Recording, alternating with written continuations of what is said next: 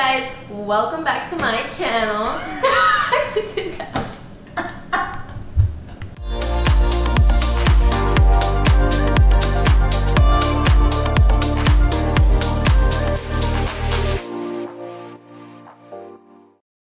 Hey guys, welcome back to my channel. So today I have a new series. A bunch of you have asked me for my recipes, so I decided to make it a thing to show a different recipe of a special food I make.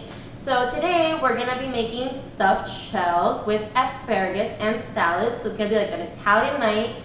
And if you already haven't, make sure to subscribe, leave a like, and comment down what other types of recipes you'd like to see on my channel. So let's start cooking and to see the list of the ingredients, check out the description below. I have the water boiling for the jumbo shells, which is our main ingredient.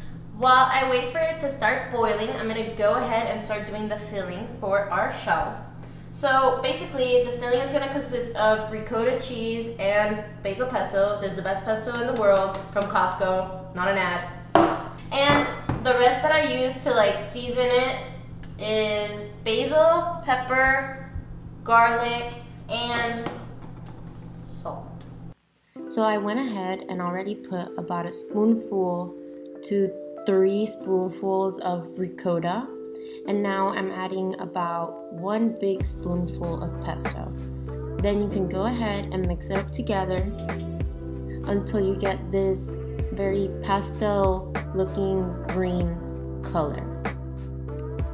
Now for the seasoning, I like to eye it to my personal taste, so you can do the same. I put a little bit of salt, a little bit of pepper, a little bit of basil, and a little bit of garlic powder, all about the same amount of each.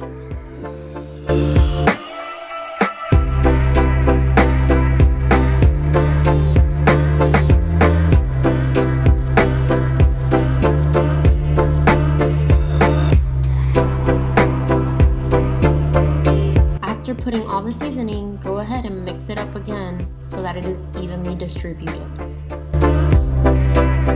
Okay, so now that our water is boiling, I'm gonna go ahead and put about 13 shells for two people. And I'm gonna let that boil for about eight to 10 minutes and I already preheated the oven to 375. I washed the asparagus, make sure to wash your veggies, and I put some olive oil on the pan. And now I'm gonna spread them out. To season the asparagus, I like to add some butter to the pan. This gives it a really good buttery taste. Then I go ahead and add some minced garlic.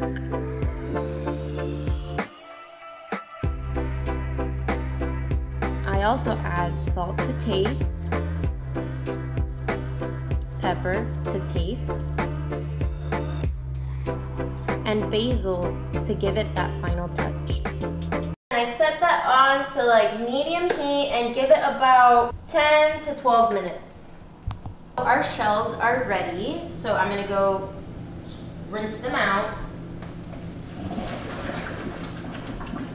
And then while they cool off, I like to prepare my base. Make sure you have a glass container to put in the oven.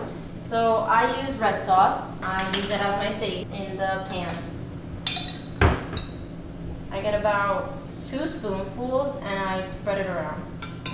This will help so that the shells don't stick. So since the shells are now cold, I'm gonna go ahead and start filling them up with our filling.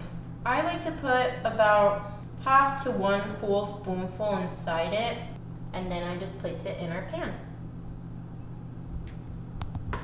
So like I just said, I like to put one to two full spoonfuls inside the shells, make it full but not overly full. And then I just start placing them in the pan.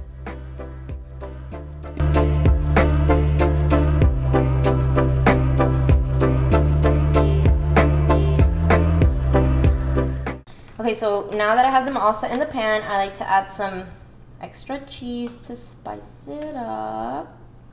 I'm not filling them all with cheese because the other person eating doesn't eat too much cheese. And then I add some extra sauce on top. the amount of sauce to put is really just depending on your personal taste. I am a sauce kind of girl, so I will put a good amount of sauce on them.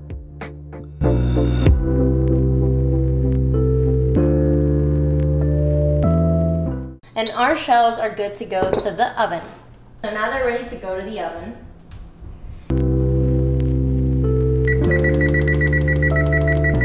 We'll set it for about 20 minutes.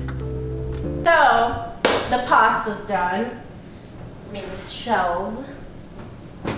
And our asparagus is done too, so we're ready to eat up. I'm gonna set the plate and then I'll show you guys. Okay, now I, I chopped the salad, it's in the bowl. I'm adding the balsamic vinaigrette and a little salt to give it that extra touch. a little more sodium. sodium! Then just mix all of your ingredients in the salad bowl. And that's our plate. Got the stuffed shells, the asparagus, and my salad. Can't wait to try it. It looks so good. Pair it with your favorite glass of wine. I got mine ready. Buen provecho. See you on the next video. Bye. I clicked the button. You think it took my photo?